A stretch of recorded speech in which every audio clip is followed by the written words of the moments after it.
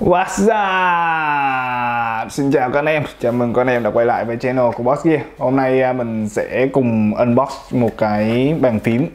Và cái bàn phím này là thuộc dạng bàn phím TKL Cái bàn phím này thì có một cái đặc biệt là nó sẽ có giá thành rất là rẻ. Thì nó khoảng rơi vào khoảng tầm 400 ngàn thôi. Và nó vẫn là một cái bàn phím cơ nha các bạn, bàn phím cơ dùng để chơi game. Rồi ok, bây giờ mình sẽ cùng mở hộp chiếc bàn phím này. Yes!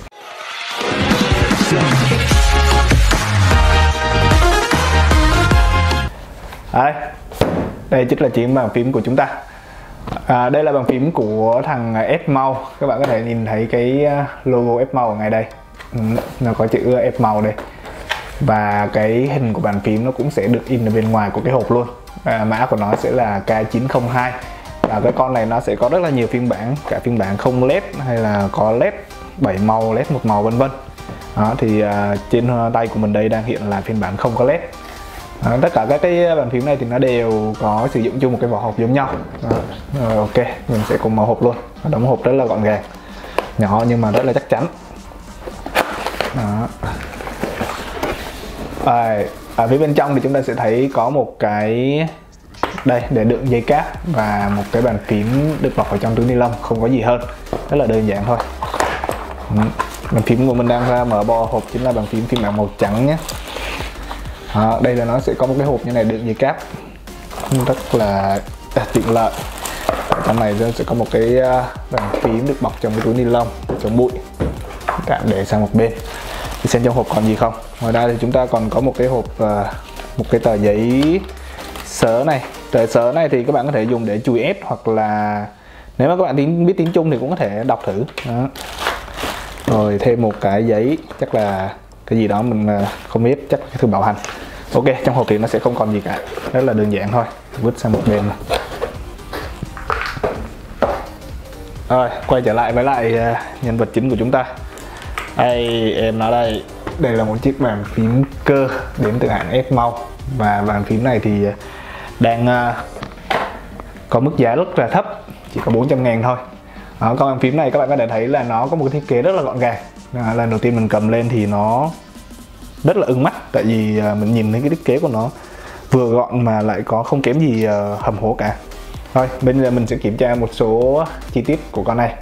Đầu tiên là chúng ta có thể nhìn thấy cái logo F màu cũng được uh, in nổi ở trên đây. Và cũng được khắc nổi lên nhé. Khắc bằng kim loại chứ không phải là dạng uh, khắc laser đâu. Đó, nó cũng sẽ có bóng loáng khi mà mình đưa trên ánh đèn. Con này thì nó không giống như con K904 có led 7 màu bản full size mà mình đã từng unbox trước đây màu hộp trước đây đấy. Rồi về cái phần ờ, layout của phím thì sẽ là layout chuẩn. Các bạn có thể nhìn thấy là nó có thể sử dụng ờ, các cái keycap mà dành riêng cho phím cơ, chơi thoải mái luôn. Và cái ờ, phông chữ ở đây thì vẫn là phông chữ kiểu dạng Trung Quốc thôi, kiểu cũng đến từ các phím cơ đến từ tàu. Thì nó là phím cơ giá rẻ mà, không thể đòi hỏi gì hơn. Đó. Và mình sẽ ấn tượng thêm một số cái nữa là ở trên này nó vẫn có những cái in uh, in phía bên ngang này những cái phần multimedia. Vậy chứng tỏ là con này vẫn có thể hỗ trợ các cái nút multimedia tức là những cái nút bật tắt nhanh. Ví dụ như là mình ấn Fn và nút F4 để mở chương trình chạy nhạc. Đó rất là đơn giản. Và các nút khác để ví dụ như là tìm kiếm hay là nét hay là tăng giảm âm lượng khóa phím vân vân. Ngoài ra thì chúng ta có thể nhìn thấy ở bên à, mặt trên của phím sẽ được bọc một cái lớp kim loại sáng bóng luôn. Các bạn có thể nhìn thấy đây. Cái lớp kim loại sáng bóng này. Đó. Đó, cái lớp kim loại này thì nó sẽ phủ ở mặt trước của phím. Tuy nhiên thì ở hai bên này nó sẽ không phủ tràn ra mà nó chỉ phủ tới đúng cái mép của phím thôi chứ nó không phủ tràn ra. Hai bên này chúng ta sẽ vẫn có một cái chắn bằng nhựa. Đó, và làm à, cắt cách điệu sơn màu lên nổi bật. Này.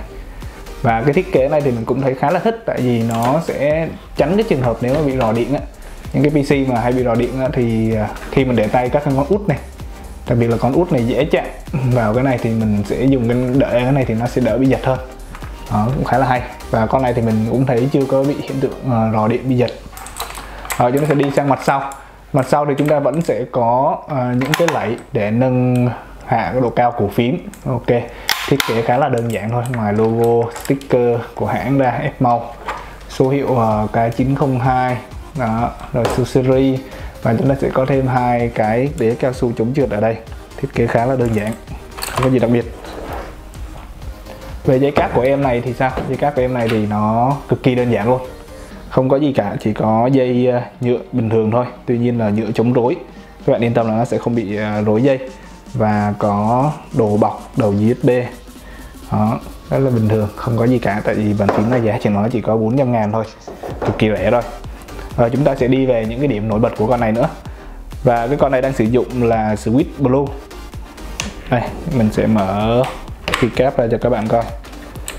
Dùng Blue Switch nha các bạn. Blue Switch thì các bạn đã biết rồi đấy, thì nó luôn luôn tạo ra một cái tiếng ồn rất là lớn và tiếng clicky nghe rất là vui tai.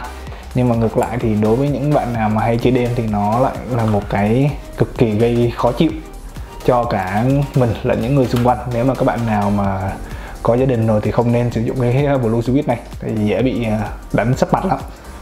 Đó, nhất là những cái thằng nào mà chơi đêm ấy. con này đang sử dụng blue switch của thằng à, Otemo. Thì à, các bạn đã biết Otemo thì cho cảm giác bấm khá là tốt. Đó, và cái tiếng clip key cũng rất là to, tí nữa mình sẽ test cho các bạn coi.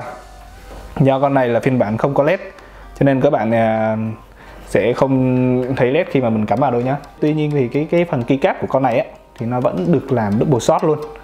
Đây, để mình cho các bạn xem. Keycap con này thì nó được làm double shot rất là chi tiết, ngon. Nói chung là về phần keycap thì con này làm ngon đấy. Tại vì nó double shot cho nên sẽ không bao giờ bị phai màu theo thời gian nha các bạn. Cho dù các bạn có chơi nhiều cỡ nào đi chăng nữa, chơi bao nhiêu lâu đi chăng nữa thì nó vẫn sẽ còn nguyên các ký tự ở trên. Bù lại cho những cái con ờ, keycap cáp mà sử dụng khắc laser thì nó sẽ dễ dàng bị bong chóc theo thời gian. Ok thì uh, cái con màu ừ, con phiên bản không lép này ngoài màu trắng ra thì nó sẽ còn một phiên bản nữa đó là phiên bản màu đen. À, bây giờ mình sẽ lấy cái phiên bản màu đen cho các bạn coi. À, đây chính là phiên bản màu đen của chiếc bàn phím này. Đó.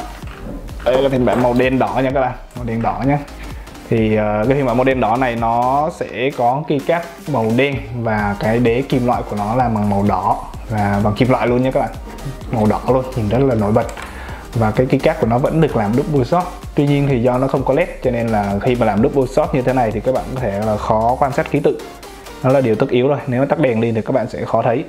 Nên các bạn phải cân nhắc, nếu mà mua bản không led thì phải chơi trong điều kiện có đầy đủ sáng. Đó. Và cái vẫn có logo F màu màu bạc ảnh lên như này, nhìn rất là đẹp. Tuy có màu đen thì nhìn ờ, khá là nổi bật. Tuy nhiên thì do nó là màu đen nên nó sẽ tối ở trong cái phòng, những cái phòng nào mà để trong những điều kiện ừ, ít ánh sáng thì nó sẽ hơi tối một chút và màu đen thì mình cũng khá là hấp dẫn. Với lại à, cái switch của nó thì vẫn sử dụng là blue nhưng mà là sử dụng blue switch của thằng Long Hua. Nó có một khác chút khác biệt là cái cái à, cái độ này của nó sẽ thấp hơn là của thằng uh, Otemu tức là nó sẽ nhẹ hơn một chút so với thằng Otemu. Otemu thì nó sẽ nặng hơn. Ừ.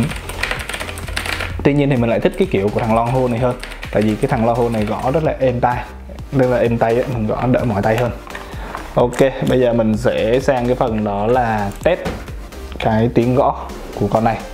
Đó, cái phần này chắc là các à, anh chị em rất là máu đấy.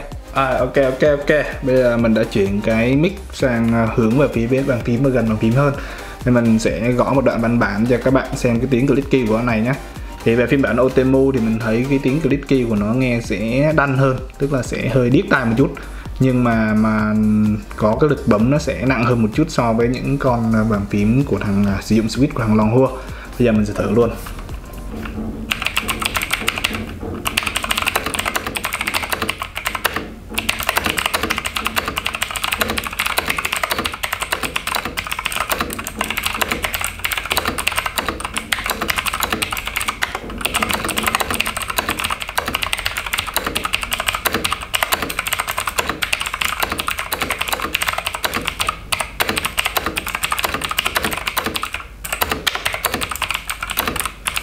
Đó, các bạn thấy là tiếng của nó nghe rất là sướng tai. Và nếu như mà các bạn spam nhiều thì à, cái tiếng này nghe còn kinh khủng hơn. Đấy. và cái à, đặc biệt là cái độ hoàn thiện về các cái nút bấm của con này thì mình đánh giá rất là cao. Ví dụ như là nút cắt bấm không hề nghe thấy tiếng lọc sọc luôn. Rất là sướng. Đầm. Cả các nút như là nút ship hay là nút cắt hay nút bắt những cái nút dài thì phải nói là độ hoàn thiện rất là cao với cái tầm giá này thì rất là khó mà có thể kiếm được một con à, bàn phím mà có độ hoàn thiện tốt như thế này. Kể cả các cái à, bàn phím giá cao hơn đi chăng nữa thì cũng rất là khó. Thì con này chỉ có một cái nhược điểm đó là không có led, tức là cái led của nó sẽ nên tức là nếu như mà mình sử dụng trong ban đêm thì rất là khó. Và cái ưu điểm của nó thì sẽ là một cái bàn phím cơ, nhận diện toàn bộ tất cả các nút trên cùng một lúc tức là cái bàn phím này nó sẽ nhận diện được uh, toàn bộ phím luôn nếu các bạn ấn cùng một lúc. Uh, khác với những con bàn phím như là con Zero trước đây thì nó chỉ nhận diện được một lúc 8 phím thôi rất là khó chịu. Và cái ưu điểm thứ hai nữa là sẽ có một cái thiết kế rất là đẹp layout chuẩn để cho các bạn có thể chơi keycap thoải mái. Những con không led như thế này thì chơi keycap rất là đẹp luôn các bạn ạ. Nhất là những keycap màu mè rainbow vân vân. Và có một cái ờ, thiết kế chắc chắn này đặc biệt là một cái thiết kế bọc kim loại. À, phải nói là ở những cái tầm giá như thế này thì rất là khó kiếm được những con không led mà lại ngon, phím cơ ngon như thế này. Ừ. nên kể cả vào phiên bản màu đen nữa, cả hai cái đều mình đánh giá rất là cao. Đó. Tóm lại, nếu như trong tầm giá 400 ngàn thì các bạn có sẵn sàng bỏ ra để mua một con phím cơ không led như thế này không? Rất là nhỏ gọn. Nếu mà các bạn à, có ý kiến gì về chiếc bàn phím này thì hãy để lại à, comment ở phía bên dưới nhé. Ok, uh, cảm ơn các bạn đã theo dõi video của mình. Nếu các bạn thấy hay thì hãy like và subscribe kênh giúp mình nhé. Cảm ơn các bạn đã theo dõi. Xin chào và hẹn gặp lại. Bye bye. À quên mất, ngoài ra thì uh, có con bàn phím TKL này của thằng Fmau nó còn có những phiên bản có led 7 màu nữa. Tức led mỗi hàng một màu. Thì uh, những chiếc bàn phím đó mình sẽ review sau. Đó, thì các bạn muốn mua thì hãy click vào phía link phía dưới mô tả nhé. Bye bye.